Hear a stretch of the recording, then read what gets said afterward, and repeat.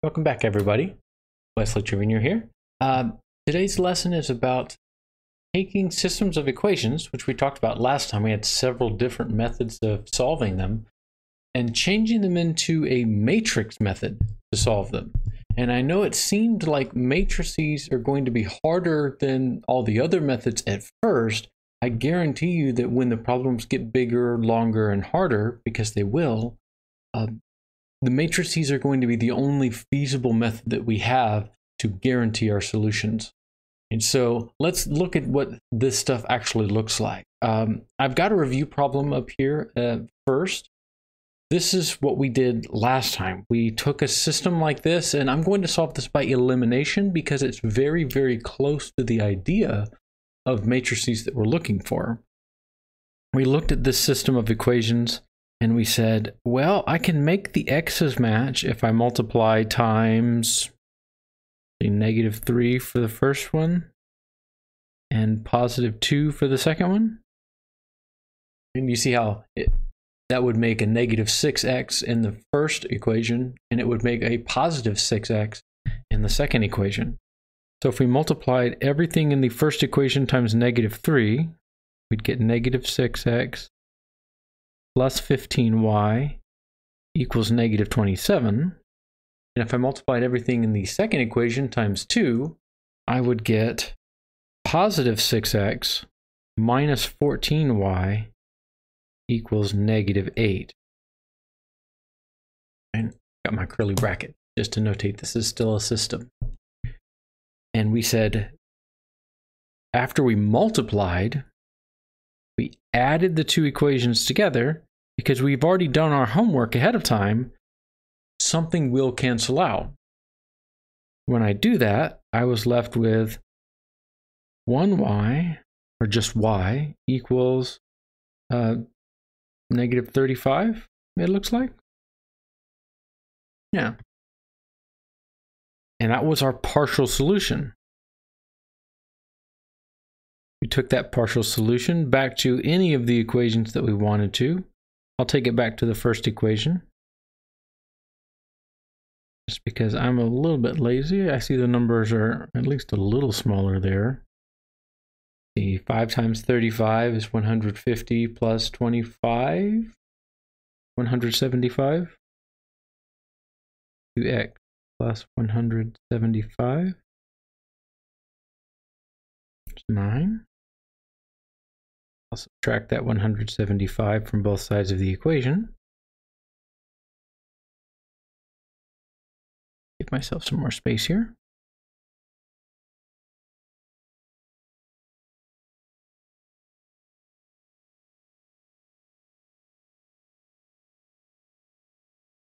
Negative 166. And then divide by 2. X equals negative 83. So this is also my partial solution, but put together, both of these things combine to be x equals negative 83, y equals negative 35, or written as an ordered pair, I can do just x value, comma, y value. That was the solution. Notice that we want to do basically the same idea when it comes to matrices. We can go back up to the top. The first thing we did with elimination was we multiplied. After we multiplied, excuse me, I'm going to turn on my, my keyboard there. When I turn on that keyboard, it prevents it from coming up. After I multiplied, I added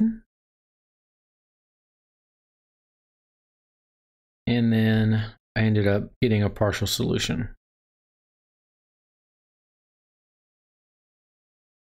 And so we won't be able to get the partial solution in quite the same way with matrices, but we will still follow this same process of multiplying and adding so that we'll change the system from something which looks a little goofy Right, remember this first system up here at the top we started with, didn't look that nice, right? It had two variables in it. We couldn't tell them apart. But once we multiplied and added, this thing had the same solution. And we couldn't see both halves of the solution here, but we could at least get a partial solution from it and, and work our way backwards from there. And so we'll do the same idea. We will multiply and we will add. So let's see how we turn this thing into what we call matrices in the first place. All right, let me get, get my space all worked out here. Translation into a matrix. Now this problem is a bit longer, a bit harder. Notice how this one has three equations and three variables within it. Right? Generally, you should have one equation for every variable if you're looking to get a single solution, right? Or at least you're trying. We know, we saw last time that sometimes there are no solutions and sometimes there are many solutions to a particular system. Right? Certainly next week, we're going to start solving problems which are pretty much guaranteed to always be infinitely many solutions. We're still going to use the same ideas and the same tools of matrices to help us out. To change this into a matrix, I'm going to make a matrix, which is a matrix is just a rectangular array of numbers. It's like a table. It's going to be set off by these square brackets. And every equation in my system gets one row in my matrix. So I have three rows because I have three equations in my matrix. And every variable, notice how in this system I've, I've done some prep work already. All of my variables kind of line up in like terms like this. And then my numbers on the other side of the equal sign. It's really nice that they do that. And that's what I want. So I'm going to just take the coefficients or the numbers out of this system. And I'm going to leave them in the same positions, right? The numbers in the top row of the system will become the numbers in the top row of the matrix. There's a 1. You forget about that hidden 1 there. 1, 3, negative 1. Right? That negative z means there's a negative 1 there. 41. In the second row, the numbers are 2, 10, negative 5, and 1. And in the third row, 2, negative 1, 13, and 0. All right, so I've got three rows in this matrix. And I've got four columns. three columns came from variables, right? One, two, three variable columns. But this fourth column was a little bit different. The fourth column came from numbers, and I need to be able to show the reader, because once I start working with matrices, I'm not going to be able to see the system anymore. I need to show the reader that I, the last column came from numbers. And I do that with this extra bar. You can think of this bar filling in the same role as the equal sign does in the system. And with this bar, this is called an augmented matrix. The bar is what makes it augmented. So sometimes you'll see it you'll see people saying, well, this this matrix has three rows and four columns because you can count one, two, three, four columns. Sometimes people will say, well, this is three rows and three columns that are come from the variables. So I'm going to call it three rows, three columns. And most people will say, oh, well, we know that there's an extra one which comes from numbers. Um, I'm going to try to stick to calling this three rows, four columns. I don't want to assume that my reader knows or my watcher knows that one additional column will come from variables. And, and so in, in this matrix, everything in the first column was sort of my X column, my Y column, my Z column, and then my numbers column. Sometimes you'll see me abbreviate this RHS, right hand side of the equation.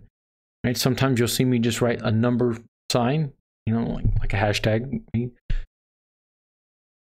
This one doesn't come from variables, but there are four columns in this matrix. So overall, I will call this a 3 by 4 matrix. And that symbol looks like a multiplication. It's not a multiplication though, right? So I'll do rows and rows first, columns second. 3 by 4 matrix. And, and this matrix now perfectly represents the system of equations it came from. So I could go back and forth, right? Given a matrix, I could go back to a system. Right? The only thing which is is keeping me from perfectly going back to a system is that nothing in the matrix says you have to label your columns. So I don't know if the variables used to be called A, B, and C, or if they were called X, Y, and Z, or maybe they were R, W, and L. I don't I don't know what the variables used to be called. Right? A little bit later on, we'll actually start labeling our columns, but even then you don't have to label them. Right? Rewriting those labels is going to take a lot of time and they won't change anyway. So most of the time I won't even bother writing those labels. Maybe for the first time I write a matrix, I'll write the labels. Every time after that, I'll just assume that hey, we'll, we'll keep the same label so I don't have to keep writing it and rewriting it. Mm-hmm. So that's how we, we turn a matrix, or excuse me, turn a system of equations into a matrix. And if all things work out, we're going to have exactly as many equations as we do columns of variables, plus the one extra one, which comes from the numbers. Next week, we're going to start looking at some which have more of one than the other. That's going to be kind of a special case. Uh, but for now, and for this week, we should have, they should match up. Right? So three rows, four columns. Or if it were a smaller matrix, maybe there's two rows and three columns. Right? That would mean there's two variables plus the third one, which comes from the numbers. So what does that actually do for me, right? So I've got this fancy rectangle grid, right? Maybe it looks a little bit cleaner because in the matrix, notice we don't have to keep writing variable names all over the place. It's much easier to just work with the numbers than to bother keeping track of all of my like terms. Everything in the same column were automatically like terms. And so as long as I don't start mixing my columns up, I'm fine. The rows, that's a different story, right? See, I could change the order of these rows just fine, and the columns wouldn't change, so neither would the variables, which I would stick on here. So let's see why the matrix is such a very nice tool for us to be able to use. I call this the working with matrices section of, of the presentation because just like when I have numbers, we have we know how to multiply, add, subtract, multiply, divide with numbers. But when we're working with matrices, we've got three operations, right? You can you could consider a fourth one, but it's made out of two of the others. So it's not truly a fourth one, it's just a combination of two other ones that we'll do very often. Let's see what I mean. So there are three things that you can do to matrices. The first one is multiply. You can multiply any row by a non-zero number. I have to specify that it's non-zero because if I multiplied any row times zero, I'd just get a bunch of zeros. And wouldn't that mean 0x plus 0y equals 0? Well, 0 equals 0 might be true, but it doesn't help me solve anything. I mean, it's one of those vacuously true things, which doesn't mean anything. Everyone's have probably known somebody like that. You talk to them and they'll say things which are true, but don't really mean anything. Right? Sometimes sales after talking to a salesperson, you can feel this way. He's just like, wait a minute what did you say? Like what you just said didn't mean anything. And so a non-zero number. So maybe I wanted to take the first row and multiply everything in that first row times two, kind of like we did earlier with our systems. we'll show that with a shorthand. Right? Here's how we'll show it. I'll say 2 times row 1, R1, that's my shorthand for row 1. 2 times row 1 replaces, that's what the arrow means, row 1. So 2 times row 1 replaces row 1. Right? Sometimes you'll see people use an equal sign instead of an arrow. I don't like to do that because I don't know, I that's just not how I'm used to showing it and it's not really an equals kind of thing, right? Because we're going to start uh, doing more complicated expressions here. I don't like using an equal sign there. 2 times row 1 replaces row 1. So what used to be this matrix, 2, 1, 3, negative 4, 9, and 12, becomes everything in row 1 is times 2. 4, 2, 18, 3, negative 4, 12. Nothing in row 2 changed, and only the things which are in row 1 changed. And let me move this over just a little bit more. So I can actually write my operation here. You don't have to write your operation between every matrix step you do, but I like to label mine using my shorthand notation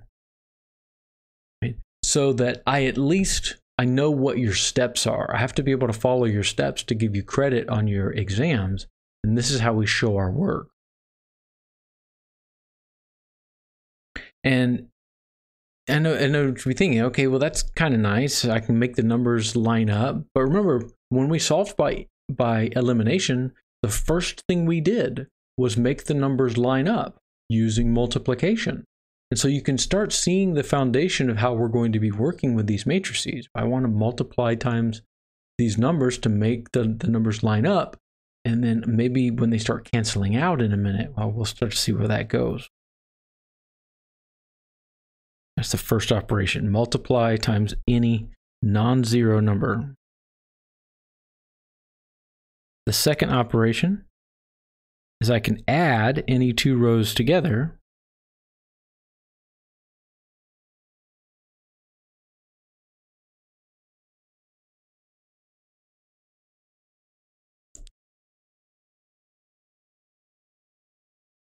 This is going to replace one of them.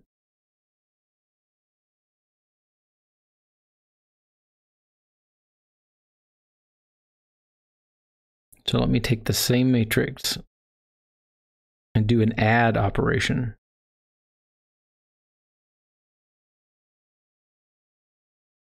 Here's how that might look in the matrix shorthand notation. I would say row 1 plus row 2 replaces row 1. And again, I don't have any reason why it has to be row 1 in this case. That's just the one that I picked. Right? Later on, a little bit later before we go, we'll we'll go over the method for why we pick the numbers we multiply and why we pick the numbers that we add and why they should go in a specific order. But for now, we're just talking about the operations. So here I'm doing row 1 plus row 2, and I'm sticking the total back in row number 1. So let me go column by column, right? So Row 1 plus row 2, that's 2 plus 3, is 5. Stick that back in there. And sometimes students will actually take these numbers to the side, right, like scratch work,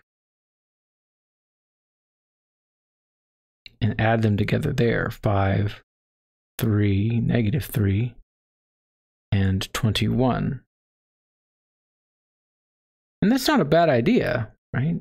It takes a little bit more paper, but if you need to keep track of it, right, this is actually a pretty decent way to do it. So this was row one, this was row two, and this was the combination row one plus row two. And this thing is what got replaced in row number one. 5, negative 3, excuse me, and 21. Row 2 didn't change at all. So I'm just going to copy those numbers back down into row number 2. Now you can see the foundation really taking place because didn't we do something very similar to this when we did elimination? First we multiplied to make the numbers match, then we added to make them cancel out. And by doing so, we were able to take what used to be a system of equations with two variables and made it look simpler, made it look smaller.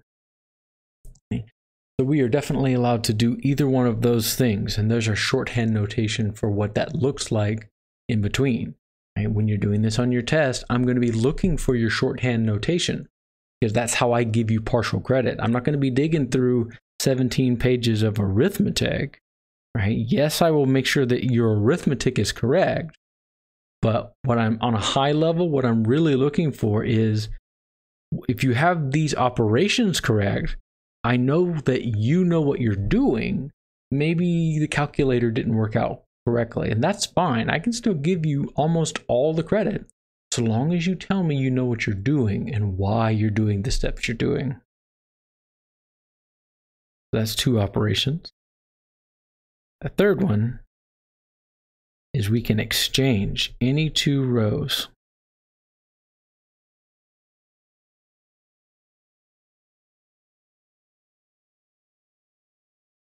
I know it doesn't seem like this will be super helpful right now because if I did something like that, it might look like this 2, 1, 3, negative 4, 9, 12. If I did that right now, it looks like this. Row 1 changes places with a double arrow. Row 2 so row one and row two just go back and forth. And all I do is write the second row in the first row and the first row in the second row. And I know that that might feel like that's not super useful right now. Right? But again, when we start building our matrix methods up, right, we're going to need very specific numbers in very specific places. So this exchange process might come in, in handy every now and again. Right? But most of the time you're going to be doing the adds and the multiplies, operations one and two. Do you remember how I said that you could technically count four if you allowed yourself to look at four as a combination of two of the other ones? And so this is not really four, but I like to, some people like to think of it as four. This is when I multiply and add at the same time. Or at least first we multiply, then we add. If you were looking in a textbook, they might call this a linear combination. but I'm not sure that's a super useful Google word because that's a good word to use for a different class and you might you might pull up things from a different class if you tried to search for linear combination. That is technically what it's called though. Let me show you one of these linear combinations where we're doing multiply and add at the same time.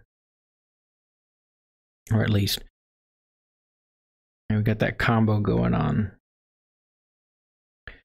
So I'm going to take a page kind of out of my elimination notebook and I'm going to say, well, let me do three times the first row. Let me do negative three times the first row.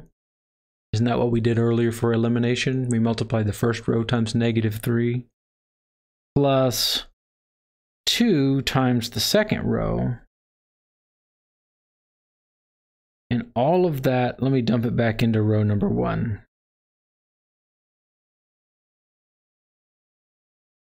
So that's what one of these linear combination rows looks like.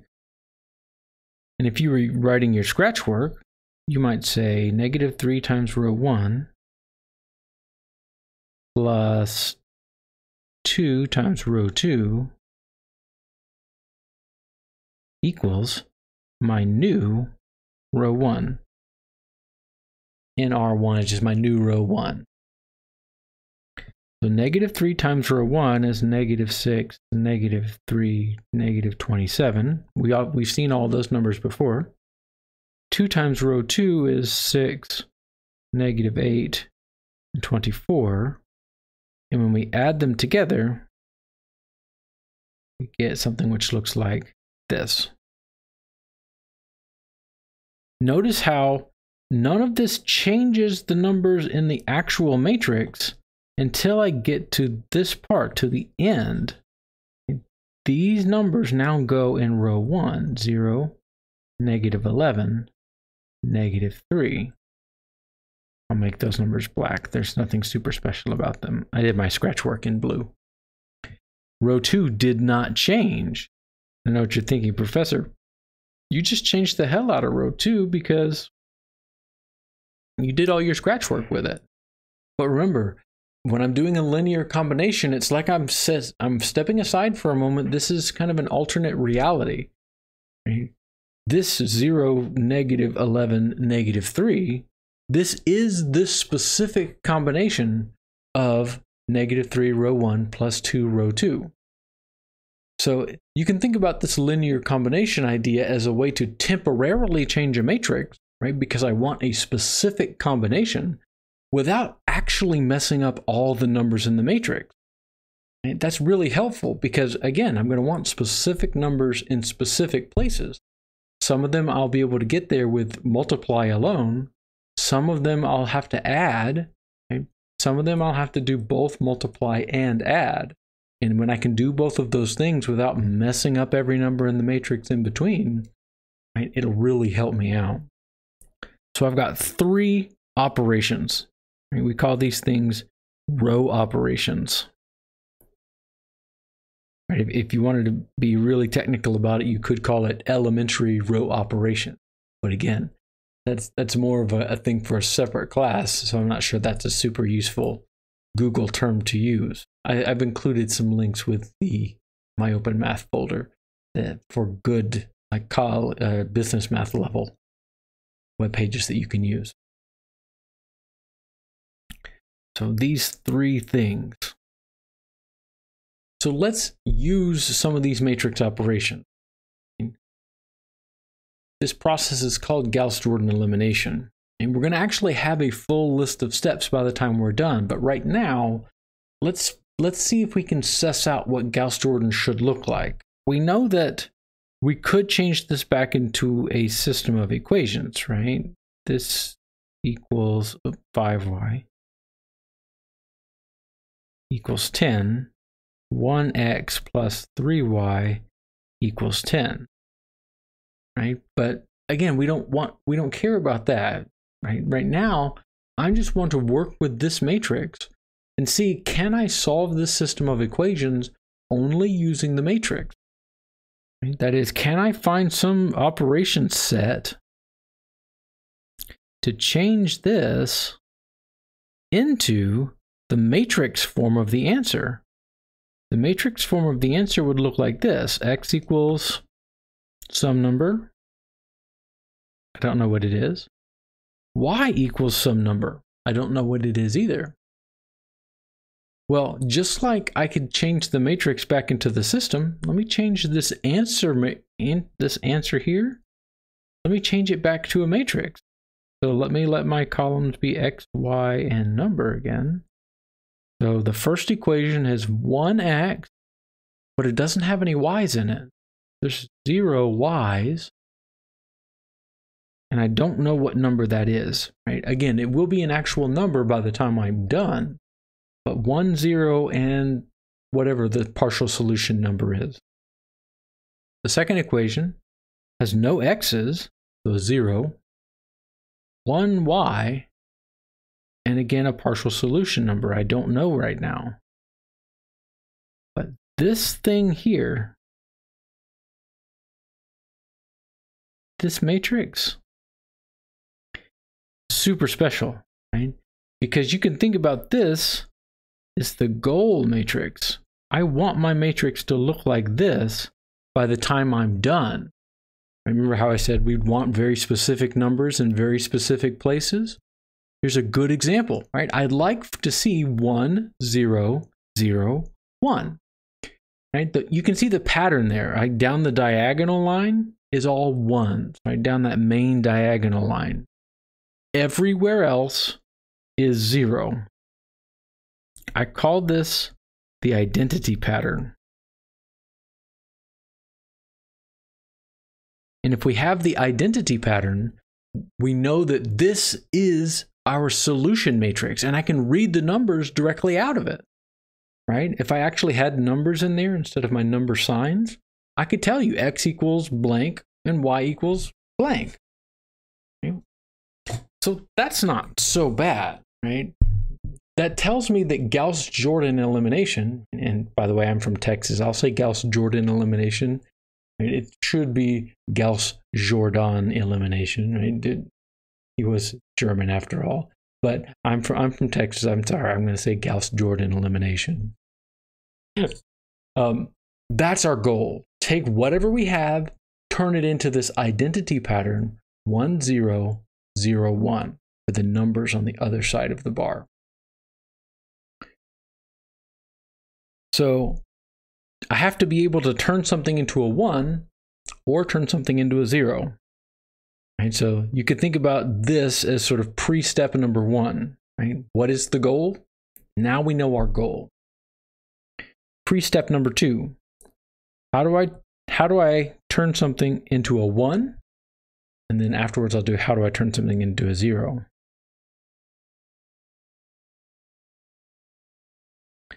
How do you make any number into a 1?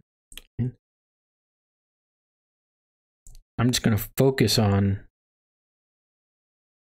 the operation here.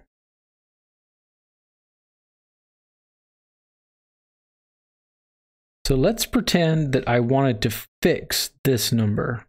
Right? In my goal matrix, I'm going to scroll back up, you can see it. In my goal matrix up there, it should be a 1 how do I make the two into a one? Remember, I only have the matrix operations to work with. Sorry, I'm going to try not to scroll too fast. I only have these three matrix operations to work with. Multiply, add, and exchange. And I can multiply by an entire row, but when I'm adding, because a lot of times uh, students will tell me, hey, why don't you just subtract a number. But notice how operation two, I can't subtract a number. I have to add two rows together, right? I have to use the entire row. And sometimes whenever you use entire rows, right, numbers get messed up that you don't want to get messed up. Multiply is a pretty powerful thing though. Can you think of a number you can multiply to make a two into a one? Two, oops, 2 times, I don't know, 2 times what is equal to 1? Right? If you wanted to do this sort of algebraically, 2 times a number is equal to 1, right? 2 times, I'll call it x just for sake of argument here. Isn't that an equation you could solve? Divide both sides times, so wouldn't that be 1 half? Right? So if I multiplied times 1 half, I could make a 1. Well, what if I were to make something else into a 1? How do I make, you know, a, a, a 9 into a 1? Divide by 9. It's 1 over 9. You see a pattern here? I can make any number into a 1 just by multiplying times its reciprocal fraction. How do you make a 23 times what number is equal to a 1? Divide by 23. I should multiply times 1 over 23. That's a pretty neat trick. Oh, excuse me. Sorry, when I get down here to the bottom of my screen, my hand starts messing it up down here at the bottom. Because by the time the palm rejection gets down the bottom of my screen, my palm is not on my screen. How about this one? What if I started with the number 2 thirds? How do I multiply 2 thirds times some number and make it equal to 1? Before I said just divide by that number, but I don't know about you, but I don't think dividing by 2 thirds is something I like to do. I always think in terms of multiplication though. Can't I multiply both sides of this equation times a fraction which would cancel out with 2 thirds? That would have to have a 3 on the top, right? Because that would cancel the 3. The 3 on the top would cancel with the 3 on the bottom. So on this side, I have to multiply times the same thing. And then it would have to have a 2 on the bottom to cancel out with a 2 on the top. So it would be this fraction, 3 over 2. And if you remember from your previous algebra classes, we called this number the reciprocal fraction.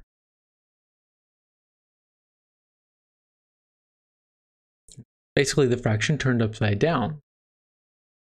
And we, we use this a lot of times when we were talking about division by fractions anyway. So this was the number, the reciprocal that I was looking for. So I can change even a fraction number into a 1.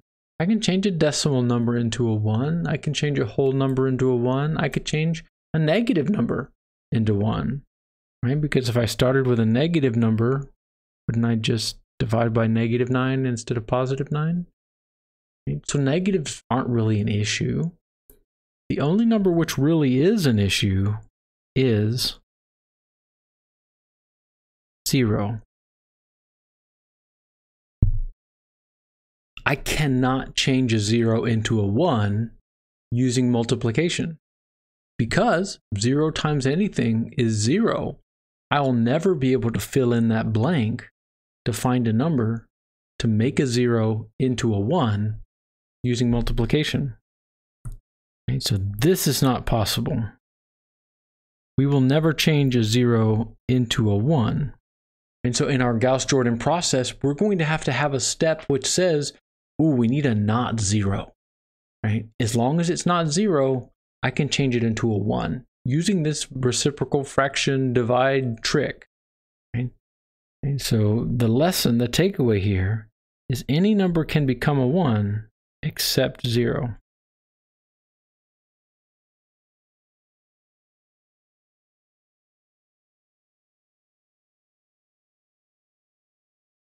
Using the reciprocal fraction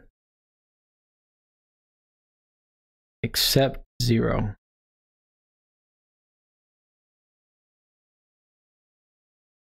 So when I when I when I'm looking for a one, right? You better believe that there there has to be a not zero there, right? Or if there's not, right? If I need to move things around, that's where that exchange is going to come into play. Right? I have some limited powers of exchanging without messing everything up. Okay. So I know what my goal is. I know how to make a one when I need a one. I feel like I'm almost ready to make this into a real mathematical process. I, I, the only thing left is how do I make a zero?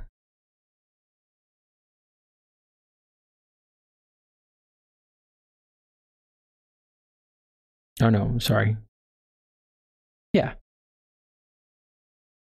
That's right. We did the one already. How do I make a number into zero? And when I'm doing this in a normal regular class, I ask this question. I say, well, you see all the pieces out in front of you. You've got all your operations. How do you make a number into a zero? And nine times out of 10, a student will say, I know, multiply times zero. Makes sense, right? Zero times anything is equal to zero. And if I'm focused on that zero, sure, I'm going to make that into a zero. But do you remember earlier when we did the operations? Operation number one says you may multiply any row times a non-zero number. Right, And so when I'm doing this in a regular class, I've got the, I got the whole shtick, right? You have activated my trap card. You're not allowed to multiply times zero. So we can't use multiplication to make the zeros. I wish we could, but it really wouldn't help. That must mean that the only thing we have left is to add two rows together. Well, let's see. Sorry about that. My recording popped off for some reason, so I went on for another 10 or 15 minutes talking before I realized my recording cut off and something went wrong. So I'm going to go back, right? I'm going to use my highlighter to call attention to the notes kind of in the order that I would have written them.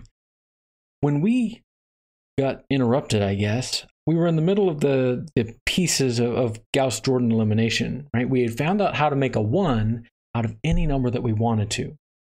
And we were worried about the number zero. We said we can't multiply times zero because that was against the row operation rules. But I can use addition, right? I can make this 3 into a 0, for example, by adding negative 3. 3 plus negative 3 is equal to 0. I can make this negative 8 into a 0 by adding positive 8. Negative 8 plus positive 8 equals 0. I could even do this with fractions, right? This is a pattern which is I can take to the bank, so to speak. Right? Sorry, go back up some. Oh, there we go. Sorry. That's a pattern I can take to the bank. Two thirds plus negative two thirds is equal to zero. As a matter of fact, I could make any number into a zero, but I had to have the right number to go with it. Right? This is what I don't like as a mathematician because anytime I have a requirement or some other sort of thing which keeps me from doing what I want to do, I have to worry well, am I always going to have that? Right? If I had a three in my matrix, do I always have a negative three to go with it? I don't think so. I mean, So while theoretically maybe this was nice, right? Realistically, I didn't like it because it still limits me, right? I can do it, but only in certain conditions. This is where the linear combinations idea came from. Right? That's what I did next. Remember, the, the linear combination said I can multiply and then add. So I can take two numbers, two rows of my matrix, like we did earlier, take two rows, multiply them times two different numbers, and then add them together. I went through a few examples here. Starting with a 3 and a 1, I can multiply the 3 times 1 and the 1 times negative 3. And it need to be negative 3 to cancel out. I'd get 3 plus negative 3 equals 0. Hey, that was nice. Right? 8 times 1 plus 1 times negative 8 equals zero. So all these linear combinations seem to be a way to get a number that I don't have. That is, if I need a negative 3, well, I can kind of make a negative 3 out of a different 1. Okay? And this even worked for fractions. I like this idea. We've already seen linear combinations was a valid operation. It only worked as long as there was a one to use, though. So I, I, know it feels like maybe I'm kind of backing myself into the same corner because it only works because there's a one. But you remember earlier, whenever we did our our how do I make a one discussion, I can make a one out of any number as long as it's not zero. So really, making a one is not that hard of a hurdle to clear. As long as everything is not zero, I can do this. And we'll have to make a special exception for when you got all zeros. But I feel like I'm ready. I, I'm now almost completely unrestrained. I can make a one when I need to.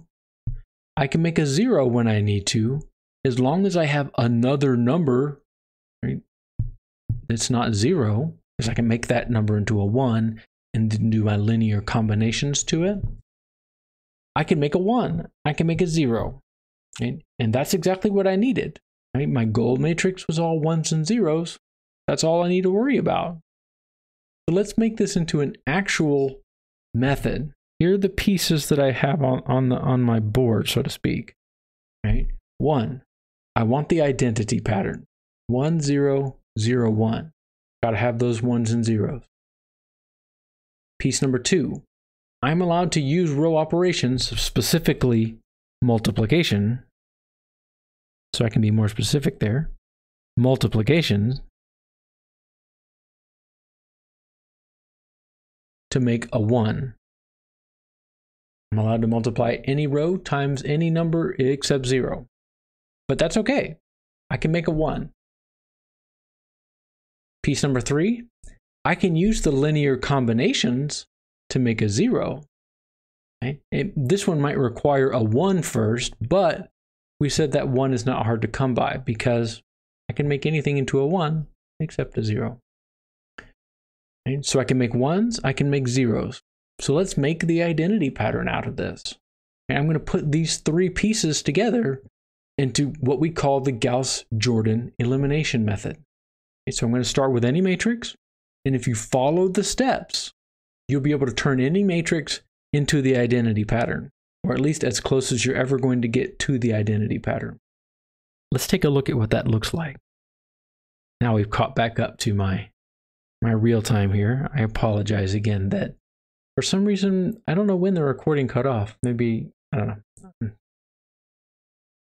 Let's see.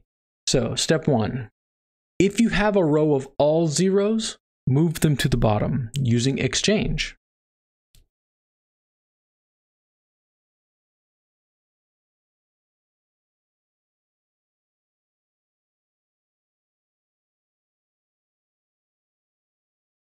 exchange them to the bottom.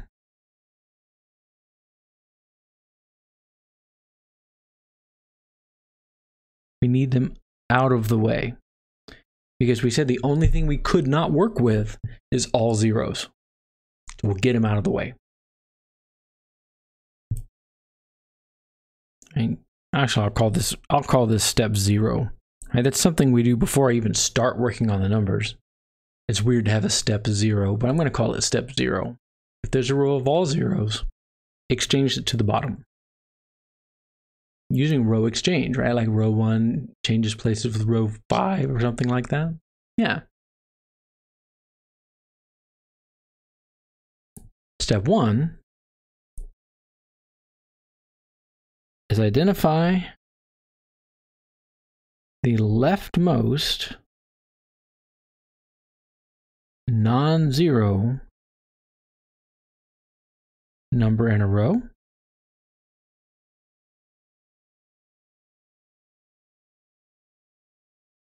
In the top row.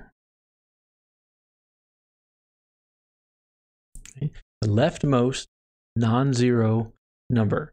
Remember, zero is the only number we can't make into a one, and we want to make a one out of this. So I'm going to, to do the leftmost non-zero number, right? Um, I would say the first number, right? But that kind of assumes that you know that we're reading left to right. If you if you can assume that we're reading left to right, I could write this, identify the first number, the first non-zero row, or the first non-zero number in the first row. But again, that assumes that we're reading top to bottom. So I used position words rather than first, second, third, because I didn't want to make any assumptions. This is called the pivot.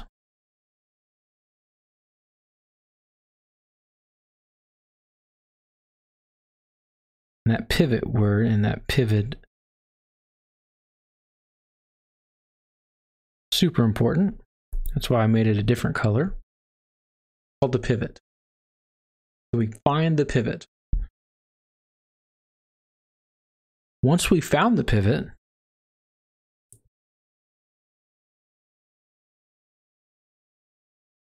make the pivot into a 1. Remember how we said we could make any number into 1? Except 0, right? But guess what number the pivot cannot be? Can't be zero. The pivot's already not zero, so I'm not I'm not allowing that possibility here in step two. Any other number, I can make that pivot into a one. Right? If you wanted to write a little bit more complete version of these steps, you could say make this into a one using multiplication.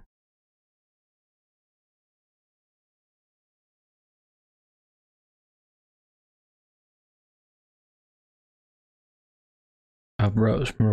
Anything we, we do to rows, everything in matrices is row operations. I'm going to multiply a row times a number to make a 1, and I can always do that. Awesome.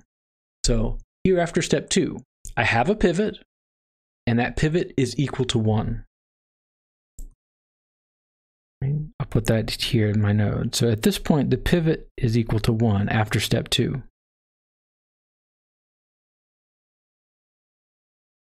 Step three.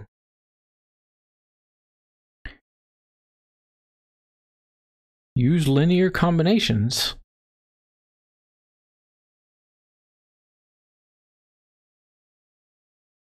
with the one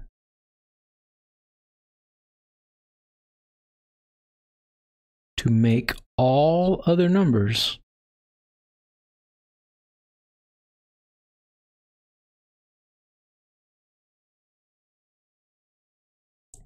in the column.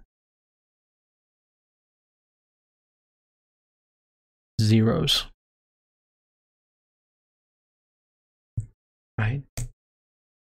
So wherever my pivot is, I'm going to go up and down that same column, and every number above it and every number below it will be zero. So the pivot will be a one, everything up and down from there will be zero.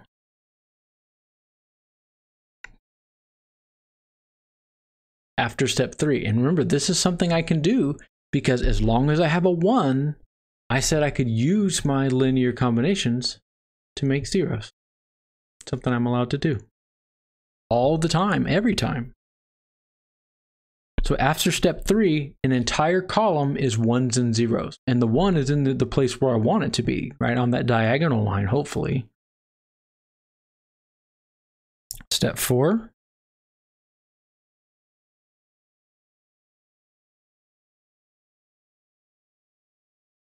move to the next row, and repeat.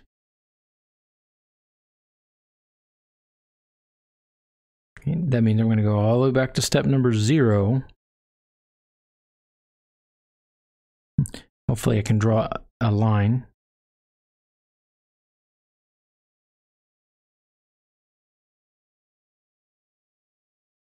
I'm going to repeat the process until I run out of rows if we get if we in the best case scenario this will leave me with the identity pattern right we'll have some special cases that you'll need to see in the textbook and on the web pages of what happens when this actually messes up but in the best case scenario when i'm done with the gauss-jordan process i will have a matrix of all ones and zeros and then the numbers across the bar which tell me my solutions all the partial solutions together all right i'm going to pause pause here for a moment so you can take a screenshot of this. If you don't like my handwriting, I'm not the only person on the planet which has written out the Gauss-Jordan elimination process.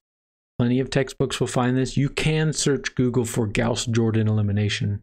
Find lots of good websites, lots of good resources, lots of good places to look. But we're going to follow the Gauss-Jordan process, and we'll do one example together before we leave today.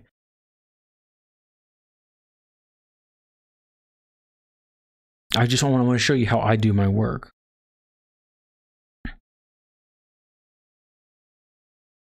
Three x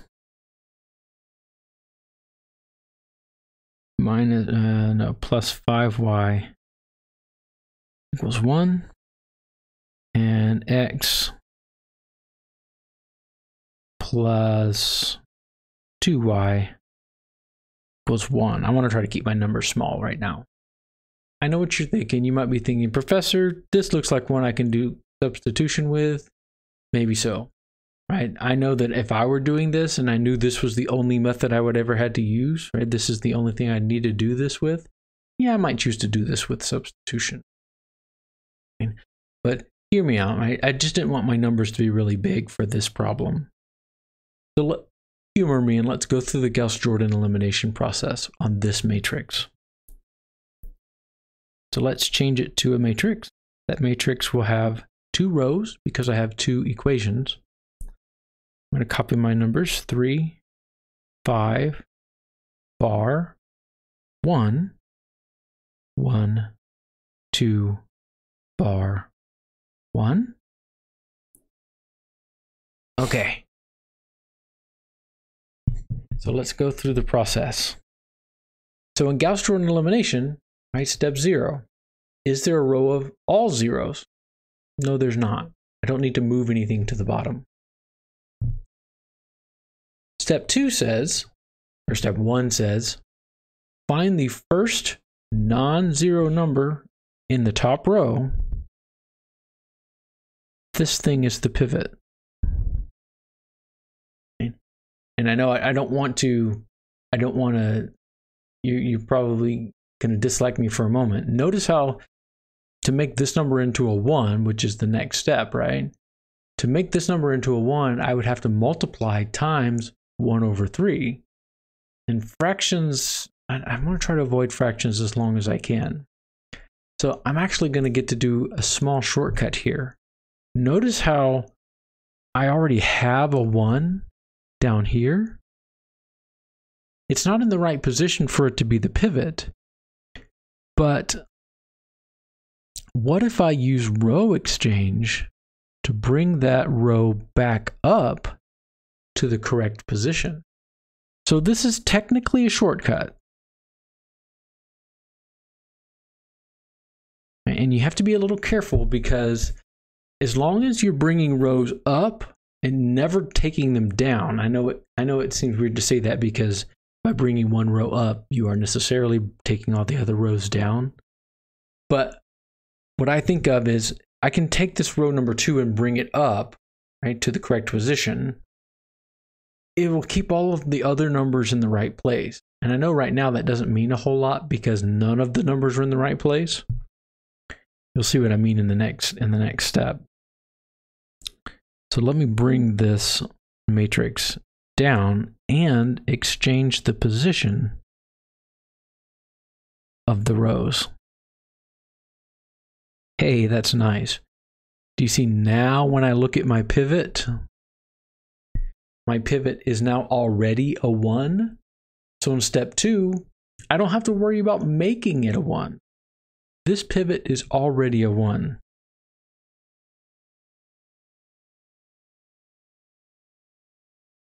Pivot is already 1. I don't have to do anything. I'm happy to use that shortcut. It saved me a whole step and a bunch of fractions. But now we have to we have to kind of pay for that. After step two, right? Remember step three says use linear combinations with the one to make all the other numbers in that column zero.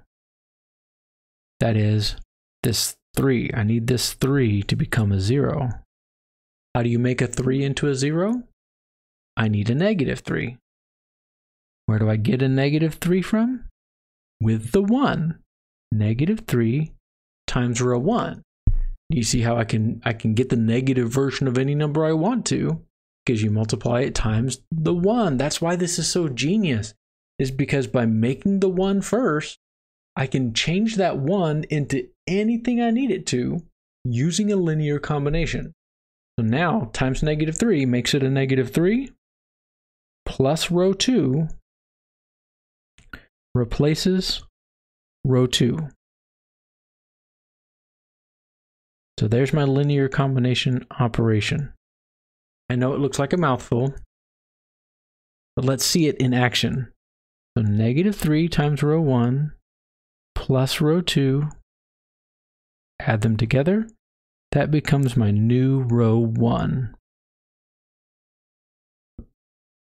All right, negative 3 times row 1 negative 3, negative 6, negative 3. Notice how in my scratch work, I never put the bars, I never make it look like a matrix because I don't want to confuse myself when I go back to look at this. In my second row, I didn't do anything to it. I didn't multiply the second row times anything. It's technically times one, but but when I add them together, I get that zero that I really wanted. And I'm going to replace that back into row number two. So 0, negative 1, negative 2. And the rows, the row 1 numbers did not change. Hey, that's nice. You see how I have an entire column of ones and zeros now? That's what one trip through the Gauss-Jordan process is going to do for us. Right? The entire column is now fixed. It looks like part of my identity pattern. Let's bring that back up to the next step.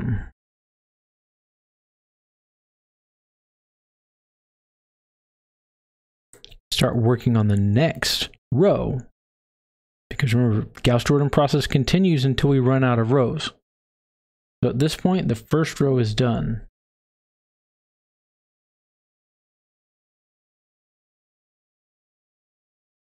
Let's look at the second row. In the second row, Step zero says, are there rows of all zeros? No.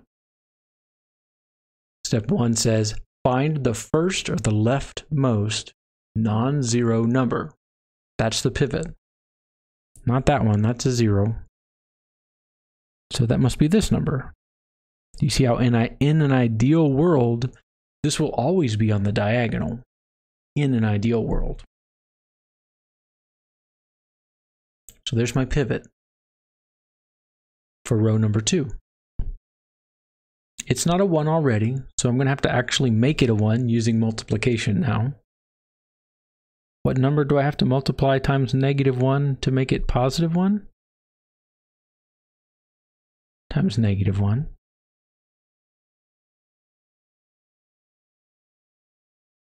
I always draw my arrows too short, but I drew that one too long.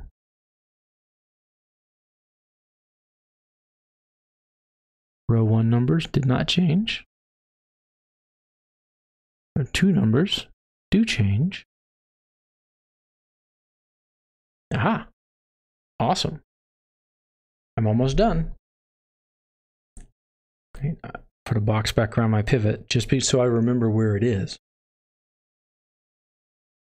Okay, so now that I have my pivot and now that the pivot is equal to 1, I'm going to use the linear combinations to make all the other numbers in the same column into zeros.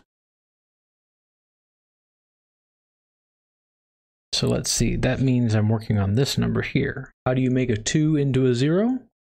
You use a negative 2. But where do I get that negative 2 from? Well, I multiply that negative 2 times the pivot. You see how times row 2 this time because that's where the pivot is. The pivot is the special one. That's the blank canvas. You can always make that into the negative number I'm looking for. Negative 2, row 2, plus row 1 replaces row 1.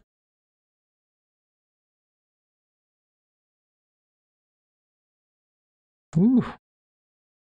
I have to get out my scratch work here negative 2 row 2 plus row 1 equals new row 2. Negative 2 times row 2, 0, negative 2, negative 4, plus row 1 equals new row 1.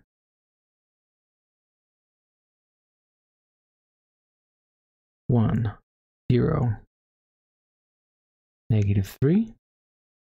Row two did not change. I'm just copying it down.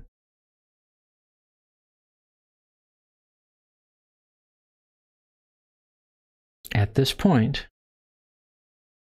row two is done. because the entire column uh, that the pivot was in was all ones and zeros. And at this point, the entire matrix is done.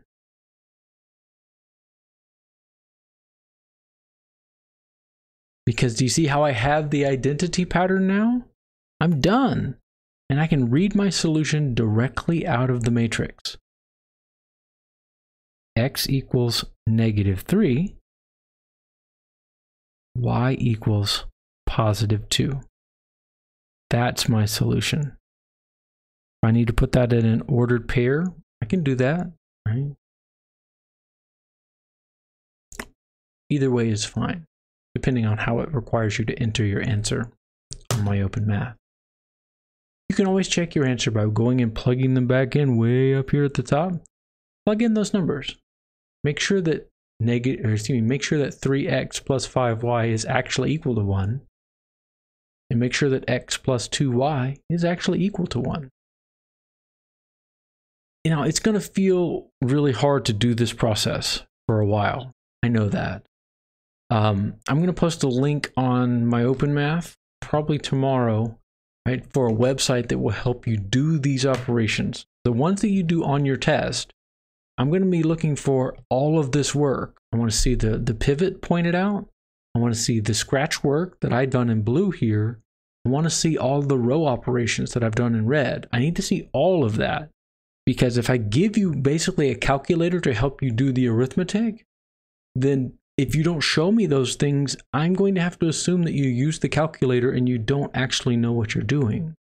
And that's it. That would be really sad because, again, Gauss Jordan is not the whole point of what we're doing. We're going to be using these ideas to do something better in the future.